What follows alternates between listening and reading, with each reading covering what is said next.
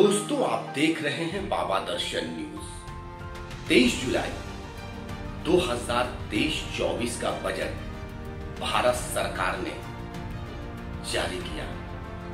उस बजट में बिहार और आंध्र प्रदेश के लिए काफ़ी अच्छा रहा चूँकि सरकार बचाने के लिए मोदी सरकार ने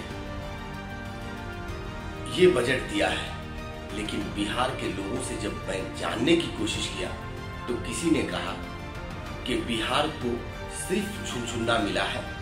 कोई बजट बिहार के लायक नहीं है। लेकिन कुछ लोगों ने कहा कि नहीं, बिहार को बजट अच्छा मिला है और जिस तरीके से इंफ्रास्ट्रक्चर से लेकर गया में कॉरिडोर का निर्माण और बक्सर में दो लाइन का गंगा पर पुल और साथ ही साथ तीन एक्सप्रेसवे पर जो है, मुहर लगी है। लेकिन लोगों ने अपनी अपनी प्रतिक्रियाएँ दी है। सुनते हैं लोगों ने क्या कहा। 2023-24 का जो बजट आया है, उसमें बिहार के लिए आपकी क्या राय है? बजट जो आया है सर, बिहार के लिए बहुत अच्छा बजट साबित हुआ है अवर का। वजह यह है कि गठबंधन की सरकार बनने से बिहार वासियों को बहुत अच्छा बजट मिला है और आशा है कि ये बजट के अनुसार बहुत बढ़िया काम होगा, विकास में, विकास आएगा आपको बिहार में। और हमारी मांग बस एक और है कहने की कि अगर सासाराम में इसका बजट का कुछ फ़ायदा नज़र आए, जैसे मेडिकल कॉलेज बन जाए, क्योंकि शेर शाह की नगरी है, पुरानी, पुराना शहर है, और हमारी, और हमारे माननीय सांसद जी ने आवाज़ भी उठाया इसके लिए तो हमारा भी नागरिक होने के नाते हमारा ये राइट बनता है कि हम भी यही आवाज़ उठाएँ कि हमारे शहर में एक बढ़िया चिकित्सालय बढ़िया बने। बजट में आपकी क्या राय है? जो 2023-24 का बजट आया है भारत सरकार का भारत सरकार का जो बजट आया है बिहार के लिए बहुत अच्छा है।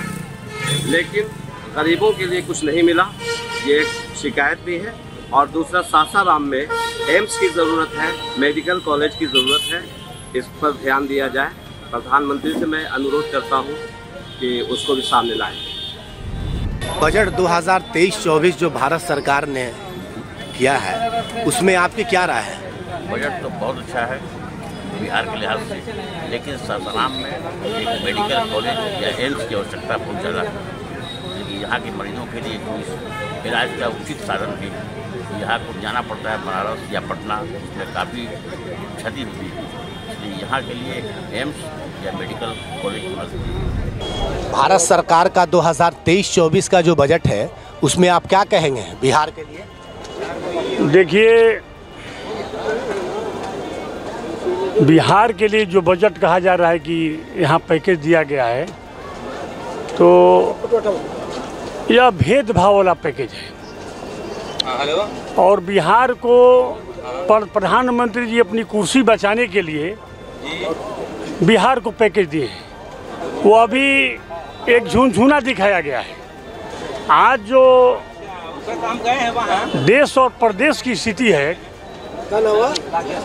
आज देश में महँगाई, बेरोजगारी, किसानों की समस्या छोटे छोटे व्यापारियों की समस्या, यह कैसे दूर होगी? इस पर कोई इनका कोई विचार नहीं आया है। उस तरह का समस्या समस्या कैसे दूर होगी? आज घर घर में आर्थिक तंगी है। यह कैसे दूर होगी? इस पर किसी तरह का सीतारमन जी का कोई विचार नहीं आया है। इसलिए बिहार के लिए जो दिया गया है पैकेज वह बच्चे को झुंझुना दिखा दिया जाता है वही झुंझुना दिखाया गया है। 2023-24 का जो बजट आया है भारत सरकार का उस पर आपकी क्या प्रतिक्रिया है? देखिए बिहार को पिछले बार से अच्छा मिला है बजट में जगह रखा गया है। लेकिन जो विशेष राज्य का दर्जा जो नहीं मिला है ना विशेष राज्य का दर्जा मिलना चाहिए। तो कहने का मतलब है कि विशेष राज्य का दर्जा जितनी राशि इनको चाहिए थी उतनी तो राशि हर क्षेत्र में तो मिल ही गई है। नहीं उतनी नहीं मिली। वो ऊँट के मुँह में जीरा के समान है बिहार के लिए बहुत पिछड़ा हुआ क्षेत्र है वो बाढ़ के लिए ज़्यादा पैसा मिला हुआ है। और सुखाड़ के लिए जो दक्षिणी बिहार में उसके लिए कुछ पैसा नहीं मिला है ना विकास के लिए उतना पैसा मिला है लेकिन पहले से अच्छा है और विशेष राज्य का दर्जा मिलना चाहिए। सासाराम के लिए कुछ? कोई कोई खास नहीं है। सासाराम जो दक्षिणी बिहार है उसके लिए कोई खास नहीं मिला है। जो कि मिलना चाहिए था दक्षिणी बिहार में। कुछ मेडिकल कॉलेज वगैरह चाहिए? जी जी बिल्कुल। मेडिकल कॉलेज के साथ साथ सिंचाई की व्यवस्था यहाँ चाहिए। किसान से संबंधित ये जिला है और यहाँ सब जगह नहर का पानी नहीं पहुँचता है इसलिए दक्षिणी बिहार पर विशेष सरकार ध्यान दे और बिहार को दे केंद्र सरकार 2023-24 के बजट पर क्या कहेंगे आप? बजट मिला जुला करके ठीक है। मध्यम वर्ग को थोड़ा उपेक्षा किया गया है। मोदी जी को मध्यम वर्ग पर अभी तक ध्यान नहीं आ रहा है। और सासाराम के लिए कुछ? सासाराम तो उपेक्षित है सासाराम के लिए तो बजट में क्या मिला? है यहाँ इतना बड़े बड़े उद्योग कुंज तो बंद है।